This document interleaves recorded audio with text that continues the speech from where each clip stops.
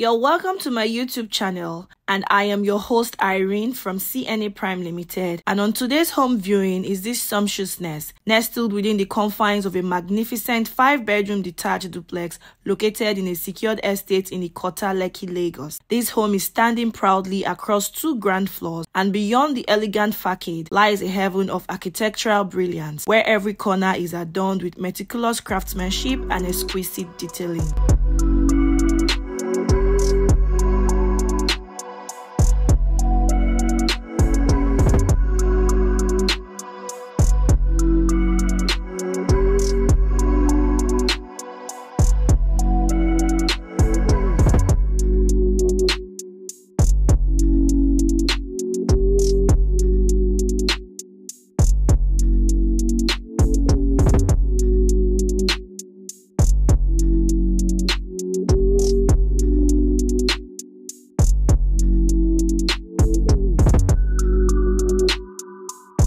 As you dip into the crystal clear waters of the swimming pool, the soothing sound of the fountain serenades your senses, creating a serene ambience that takes you to a realm of calmness.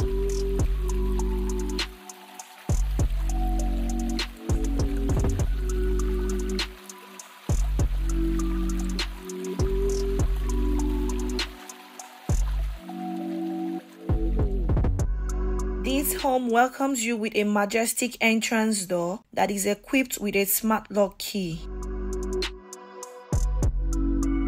The ground floor boasts of generously proportioned living and dining areas, seamlessly flowing into each other. The expansive layout offers an endless possibility for both relaxation and entertainment with family and friends. The large see-through windows invite abundant natural light, creating a warm and inviting ambience. Enjoy the serenity of the view of the surroundings. With every moment spent within these walls is an extraordinary experience.